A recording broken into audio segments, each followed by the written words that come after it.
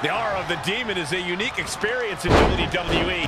Finn Balor is an extraordinary superstar, but there's just something about his transformation into the Demon that takes him to another level.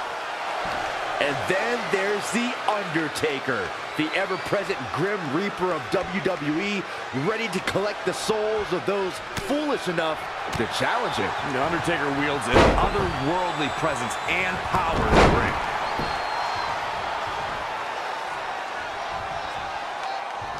Oh, Assault on the lower back.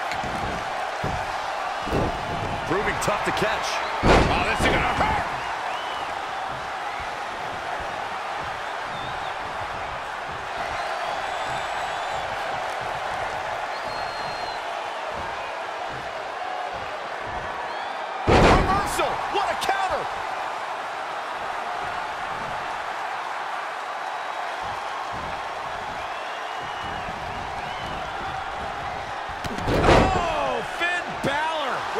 With the overhead kick.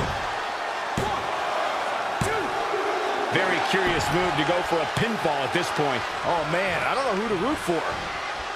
300-pound running DDT!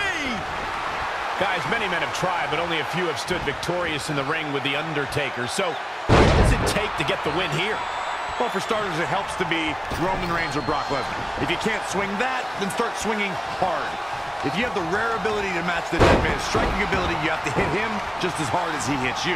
The few who put Undertaker away did it by burying him with repeated strikes. You need to take your biggest move and put it on full power repeat for the rest of this match if you want a shot at victory. Down with the vertical suplex. How does Finn Balor come back from this brutal beatdown? Yeah, he's looking off his game now. Oh my goodness, crushing it!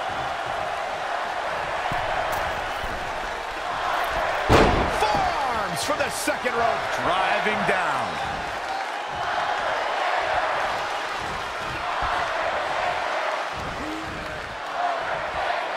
Oh my, down with authority. Really just laying it in.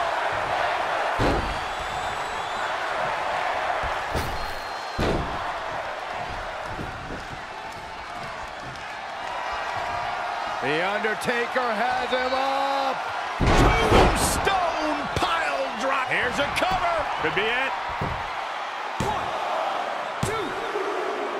The Undertaker gets the win.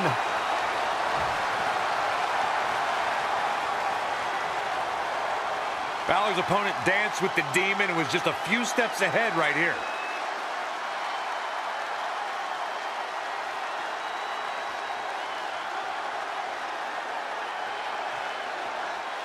is your winner, The Undertaker!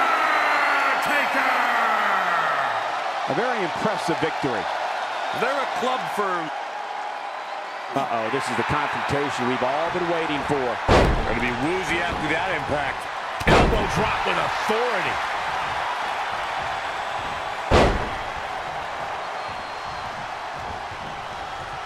Look at this.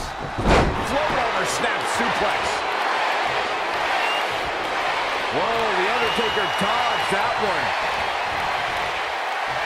Nothing fancy here. Drop kick.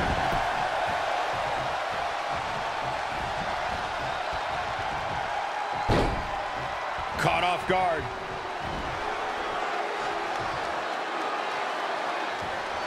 Ooh, neck breaker. And it's The Undertaker, able to break free. This gonna hurt.